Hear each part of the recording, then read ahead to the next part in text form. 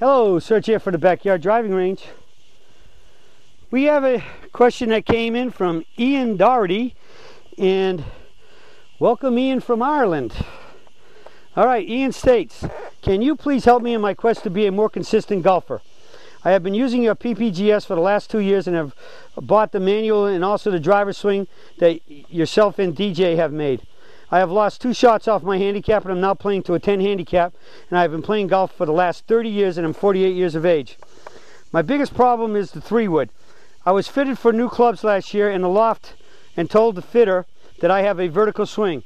My problem is that I get a banana shaped shot hook or I block straight right on the long clubs also on the and also on the longer clubs sometimes hit the ground first and the markings on the ground before I hit the ball is not square but curved. I have tried everything to sort this problem out and I can't put my finger on it on the problem.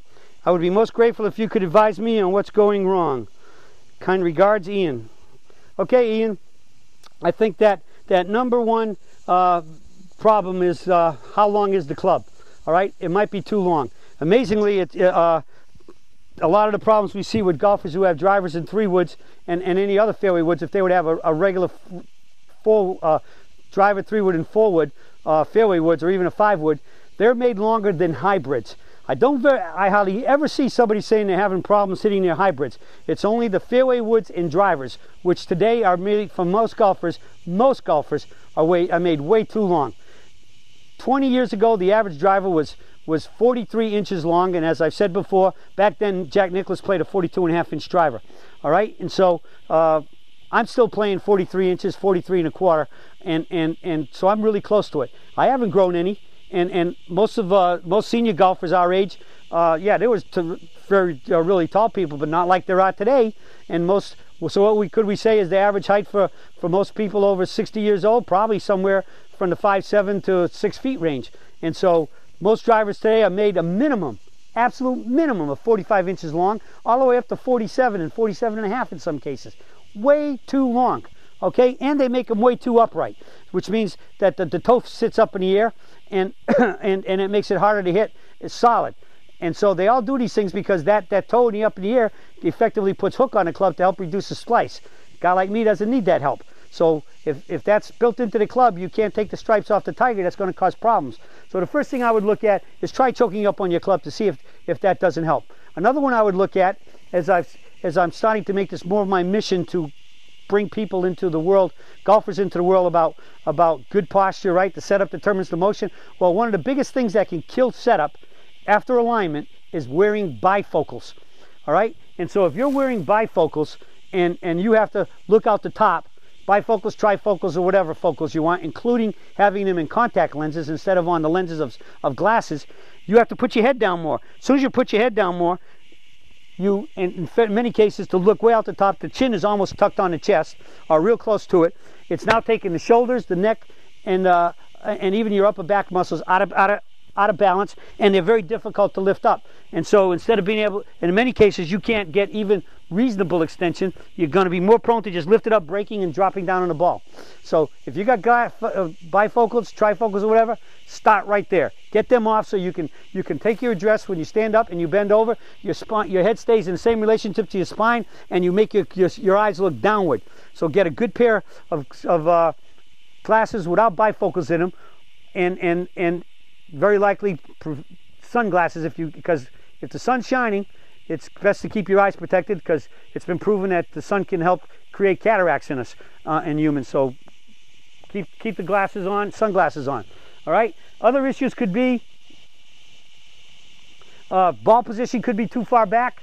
Uh, on the fairway woods, and that way you're in trying to help them. You, you might be coming backwards to try to scoop it up in the air, and so you might want to look at your ball position. Again, alignment could be it. Aiming to the right, you have to try to come backwards as you clear from the target. You, your tendency, your weight will shift backwards, and that could hit the ball. Another big one could be check to see if your nose is pointing at the ball.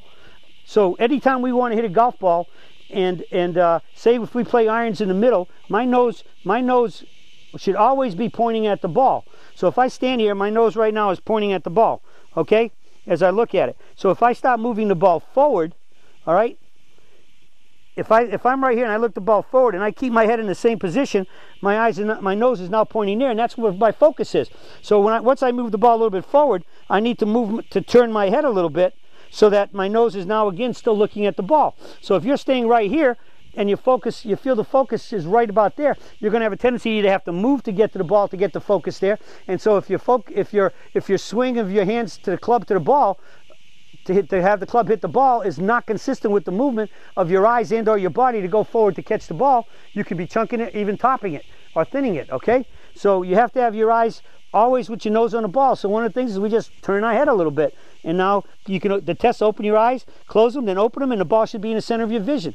So if, if your ball was here with your irons and it's moved over there and you close your eyes and open them and you're looking back here where the club is right now and not the ball, you know your head is still, is, has not moved to the ball.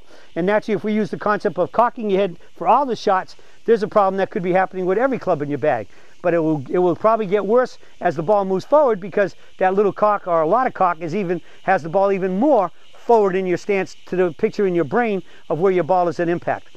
All right, so we've given you quite a few uh, options here, and I think the first one to start with is is without a doubt your ball position and the length of your golf clubs, and then naturally if you're wearing bifocals, those are the big three. And then as we talked about some few other points, I think there's a good chance your problem lies there. But uh, always start with your clubs. If you feel like you, if you're hitting a lot of clubs, a lot of good swings with other clubs, and, and, and you have a problem club, figure out it's not it's not it's not the Indian, it's the arrow. All right, it's not you, it's the club. Get it checked. Go see a good fitter. But again, if they're not swing surgeon certified fitters, they are likely fitting to the standards of what the whole world is when it comes to woods. And in our fit in our opinion, we think that's way, way, way too long. So uh, most golfers probably don't need any more than about a 44 to 44 and a half inch club, and that means, and I'm saying they're very likely they better be over over about six two or three to have that length. If you're under six feet, I think you're looking at absolutely somewhere between 43 and 44 should be the max of your of your driver, and then the club's built down from that point. Okay, well that's it for the Surgeon for today on uh, helping us try to hit the ball more solid and straight to shoot those lower scores. I'll be talking to you all again soon.